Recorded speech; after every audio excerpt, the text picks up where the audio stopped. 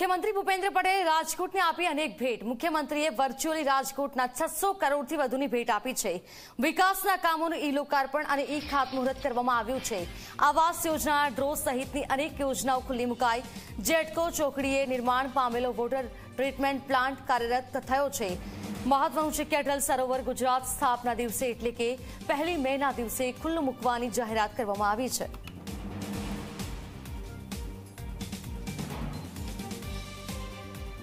મુખ્યમંત્રી શ્રી ભૂપેન્દ્રભાઈ પટેલની વર્ચ્યુઅલી ઉપસ્થિતિમાં રાજકોટ મહાનગરપાલિકા તેમજ રાજકોટ શહેરી વિકાસ સત્તામંડળ અંતર્ગત છસો કરોડથી પણ વધારે રકમના ખાતમુહૂર્તો અને લોકાર્પણો એ લોકાર્પણો એમની વર્ચ્યુઅલ ઉપસ્થિતિમાં કરવામાં આવ્યા છે.